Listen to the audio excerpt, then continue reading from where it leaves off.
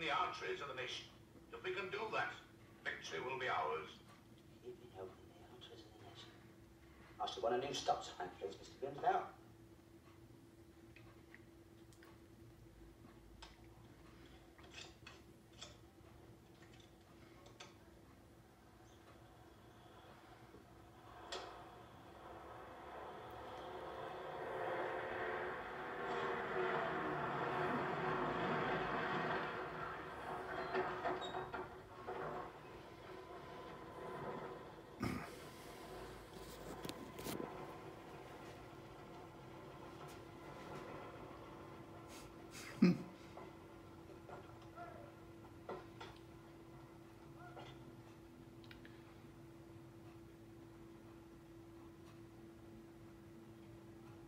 Oh, now listen, you lot. Not only in the Army now, but in the Pioneer Corps. And that doesn't mean just digging holes.